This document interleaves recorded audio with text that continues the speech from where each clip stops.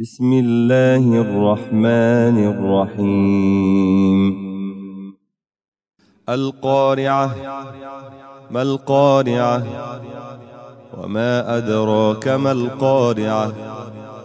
يوم يكون الناس كالفراش المبثوث وتكون الجبال كالعهن المنفوش فأما من ثقلت موازينه فهو في عيشة راضية.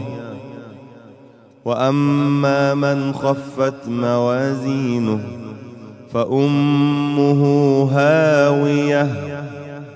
وما أدراك ما هي؟ نار حامية.